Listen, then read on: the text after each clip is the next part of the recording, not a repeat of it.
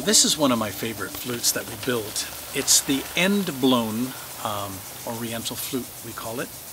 Uh, it's the scale of the shakuhachi, but without the expensive root. And uh, in order to make it uh, easy to play, we've taken a hot iron this way and this way and a file, and that's the Andean quena concept. And as you press up and lift,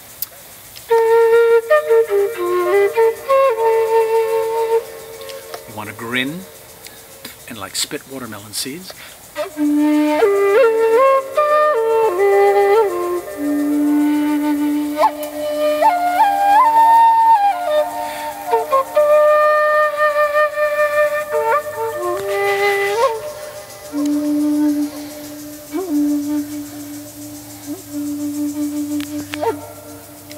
So here are some thoughts on this flute.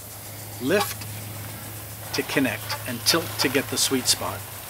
Once you've got that, then what you want to be able to do is go up and down the scale. All closed is the root note. So if you start thinking there,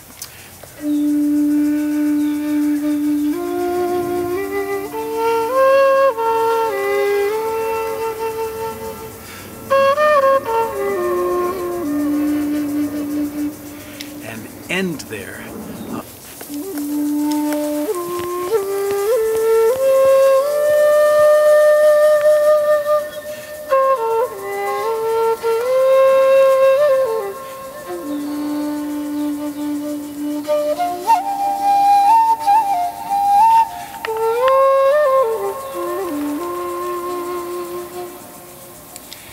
After making many oriental flutes, mostly side-blown, we discovered a little secret uh, that I'd like to share with you on getting the higher two notes of the second octave.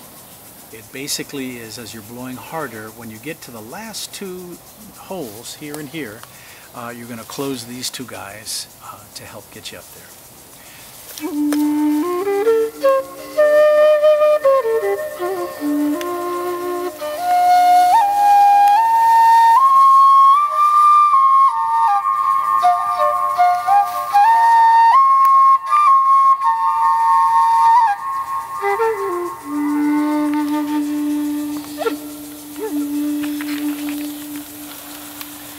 Oriental Flute at eriktheflutemaker.com.